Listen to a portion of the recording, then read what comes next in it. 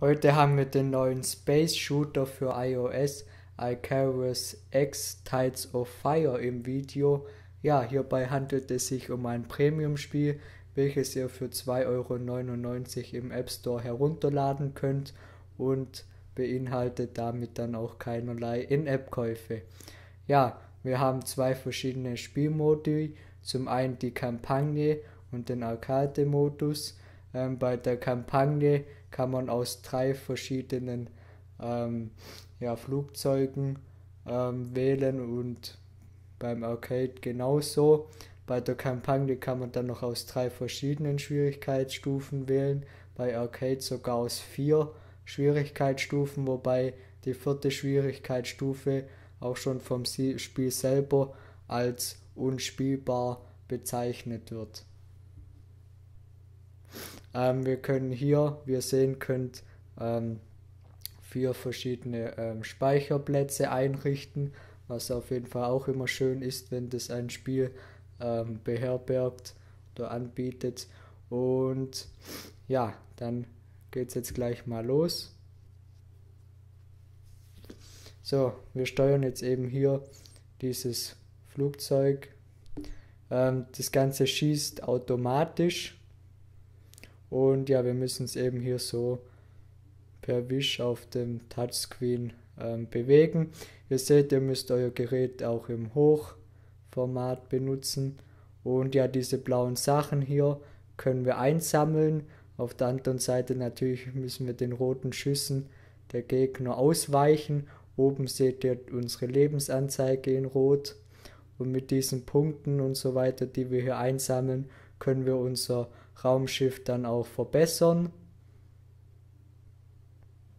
Und das Coole ist eben, dass wir keinerlei In-App-Käufe brauchen.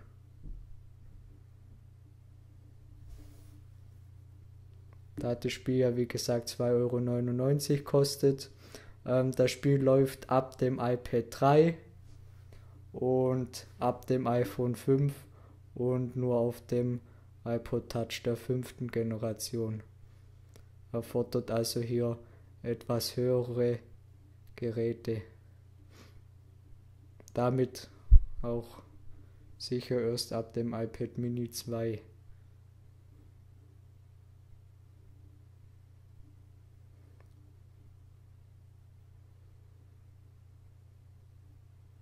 So, und ihr seht jetzt hier, das ist jetzt eben hier so eine Art Endgegner.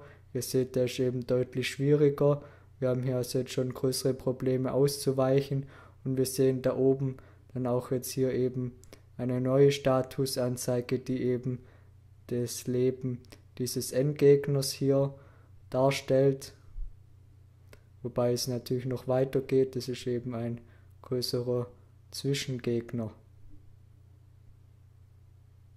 den wir jetzt hier damit ausgeschalten haben. Und ja, wir fliegen jetzt noch so lang, bis wir selber dann kaputt gehen. Also ihr seht jetzt hier, das ist die einfachste Schwierigkeitsstufe, aber selbst auf dieser Schwierigkeitsstufe ist es schon relativ schwer.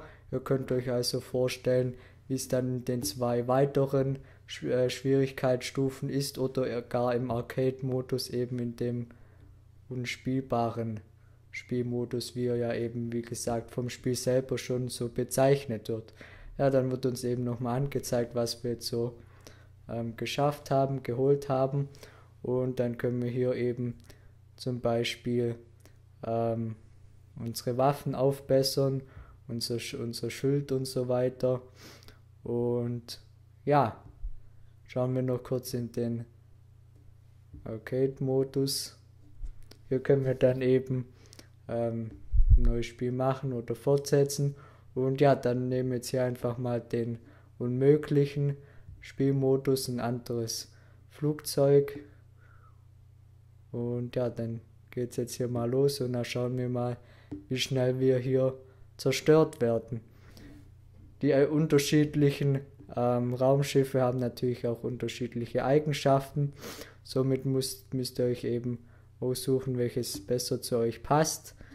Am Anfang vom Kampagnenmodus kann man das Ganze auswählen.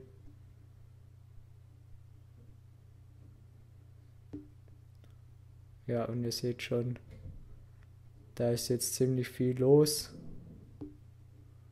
Und ja, mit diesen Eindrücken verabschieden wir uns von diesem Video.